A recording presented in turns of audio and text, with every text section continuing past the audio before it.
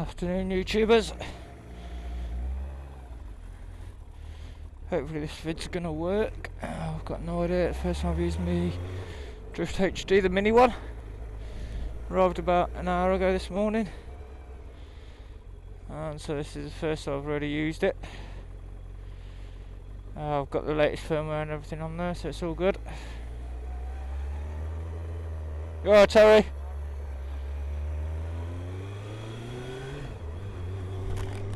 And so, anyway, I'm back.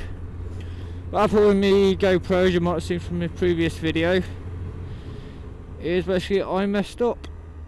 I walked away from the bike, uh, the external mic still plugged in when the bike was on the mic. And that led to me bending the jack. Got a quote last night off a company on the internet for 32 quid to fix it. No idea why I didn't thought about it sooner. So I might do that next month when I get paid. Um, yeah, so put a pro, uh, vlog updates basically. Uh, off, I dropped this thing yesterday. I dropped Samantha yesterday. No idea how it happened because I rested it on the side, stand and it still managed to go over on the other side, so the expensive side of the exhaust and everything. So that cost me a fair bit of damage. I'm currently missing the end of my brake lever. There you go. And I'm also missing the orange coating off the indicator which is going to get fixed when I get paid in two weeks. And then it's got to go in for the MOT and I'm hopefully getting a lot of other work done on it as well. So anyway, um, yeah, so first one is on zombie apocalypse. What would I do if I had zombies chasing after me? Quite simple. Get Miranda Hart in between them to make all laugh. You know, might as well go out the shining. And try and get over to Australia because it's so flipping hard to get into. I was looking at emigrating over there for a couple of days, a couple of weeks ago because I'd love to go over there. I always like, if I like something, to be able to stay there. The things they need from you, they, they've got the right idea. Uh, you know, so yeah, so go to Australia. Zombies won't get in. Chances are they need one eye. So yeah, um, another one. Ooh, what was it? Ah.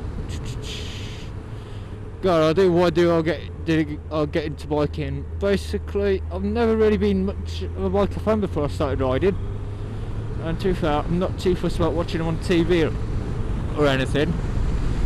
Because by the time I hear all the fairings scraping along the ground because they've came off. Just takes me back to when I first came off. So I don't really like watching it. Um, yeah, so why did I get into it? I just did all the pricing checks, realised it was a heck of a lot cheaper. So I got into bikes and I've got no plans whatsoever on getting a car licence done. Unless I join the police force. One of the options, your backup plan as it were, is join the police force and try in the long run to get into the uh, police motorcycle side of it. Because that's what I want to be an instructor is to improve road safety. So see what happens with that lot. Uh, yeah, but the initial plan, career plan, is wait two and a half years, stay where I'm doing because it's an easy job. And then um, come August the 11th 2014 not that I'm counting is Trips the motorbike instructor. Because I already did advanced stuff I know I'm probably going to have to do CBTs and everything just to pay the bills. But I am mostly about road safety. So yeah that should be good. Oh I'm trying to think now. What, what are the other ones? Uh, First Love. Go on that's an old one from uh, that man from Yorkshire. Uh, first love, well, probably the only love I've ever really had was a girl called Jane. Now, I was pining over and we only got close for about six months, but she was an amazing girl. And I mean, she was everything any decent guy could dream of. She was gorgeous, she was funny, she got me through who I am, which is quite rare for girls. Because I normally keep them at arm's length because I've been messed about in the past.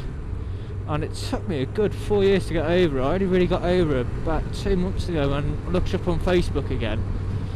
Realised she was still with a guy that I basically fell over, fell out with her over. Because, long and short of it, I got stupidly jealous of him. And tried to, you know, see that he was right for and all of that and I lost big time. So yeah, so um, I looked up on Facebook a couple of months ago and saw that she was still with him. So it's just like, well, walking away from her rather than being pushed is probably better in the long run. Because at least she's happy. And now I don't not hate myself for it so much, you know. Uh, anyway, uh, come on, another one. Come on, come on, come on. Oh yeah, politicians. That's it. Just my nipple. There you go. That's another one. Politicians do my head in. You're all in this together. Pardon my French, but bollocks. How can they say they're the same league as us? I mean, we're well, I want minimum wage, so I'm in about nine grand a year. Mean, even people on 30, 40 grand a year are having trouble a lot of the time. And I'm just like, they're on multi millions of pounds for basically doing naff all. Except for sitting in meetings all day. It's not hard. It's the same as footballers. Footballers do me head in. Because it's just like, um, they're on silly, silly amounts of money for kicking the ball around. Now, I reckon what they should do is swap the wages over and give that sort of money to people like the soldiers, nurses and police officers because they're putting their lives on the line day in, day out, and for what? I mean, a private in the army is on about 17 grand a year. That's it. And for dodging bullets, it's not worth it, in my book. Because I was thinking about joining the army as well and going into the motorbike side of it on the uh, Royal Logistics Corps. And I saw wages and the amount of risk they go into. I mean, I've got so much respect for those guys if they do it. Because it certainly ain't for the money. That's one thing for sure. Right, uh, another thing that twists my nipple is these glossy mags are okay and really and all of that. These ones that have all these like supermodel babes in there. Rubbish. They're not supermodels. Give me a nice natural girl who doesn't feel the need to put a ton of makeup on every day. And I'm there. No, no. Give me a size 6 skin insect. And see you later, love. You know. It's not worth it in my book. Be happy with who you are. I know. So anyway, um, oh, number one. There's another one I was going to do. I can't remember. I emailed all these to um, that man from Yorkshire. So yeah, um, got a couple of ideas for future vlogs. One of them, certain people might be interested in, and it's an advanced ride.